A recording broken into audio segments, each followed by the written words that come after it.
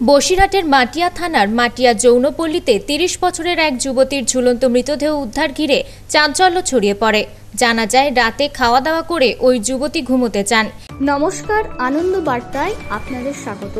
আপনাদের নিউজ দেখার পর একটা লাইক এবং একটা শেয়ার করুন। ভালো ভালো নিউজ দেখতে পেজটি লাইক করে দিন।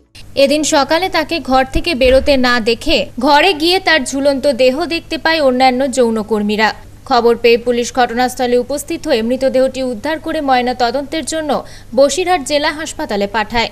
পুলিশ ঘটনার তদন্ত শুরু করেছে। বসিরহাট থেকে সিরাজুল মিস্ত্রির রিপোর্ট, আনন্দ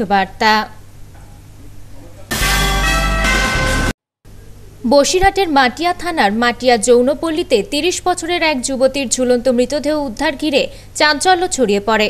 জানা যায়, রাতে খাওয়া দাওয়া করে ওই যুবতী ঘুমোতে চান।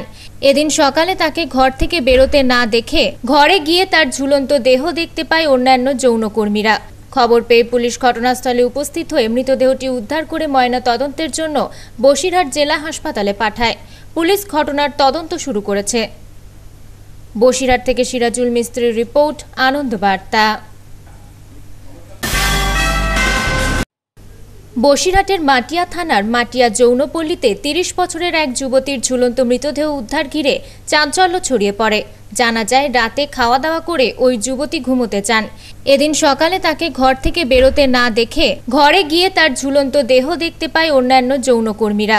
খবর পেয়ে পুলিশ ঘটনাস্থলে উপস্থিত হয়ে মৃতদেহটি উদ্ধার করে ময়না তদন্তের জন্য বসিরহাট জেলা হাসপাতালে পাঠায়। পুলিশ ঘটনার তদন্ত শুরু করেছে। বসিরহাট থেকে সিরাজুল মিস্ত্রির রিপোর্ট, আনন্দ বার্তা।